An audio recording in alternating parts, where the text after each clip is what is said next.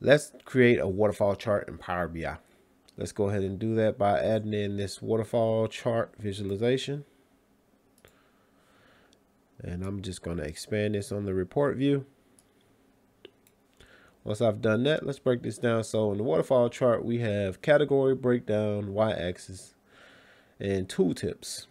So the way we're going to do this is my category is going to be the region. And before we do the breakdown, let's do the y-axis. So my y-axis is going to be sales.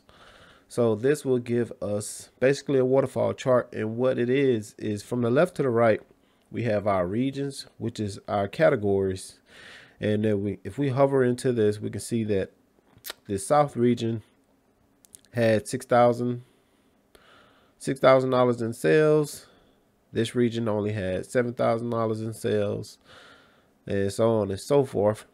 And then this big blue bar right here is the total for the entire region. So you can see here how it just basically took each region sum of sales, added it all up to give us a large bar right here. Now let's add some more values in here.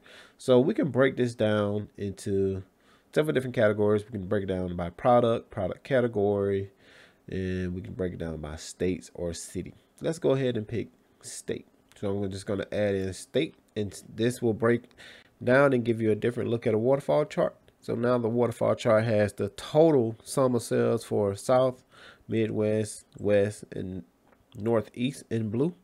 And then it breaks down the state here.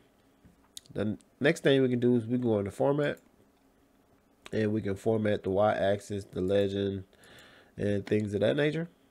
And we can also change our columns. So if we don't want this to be green or pink or yellow, gold, or blue, we can change those colors like that.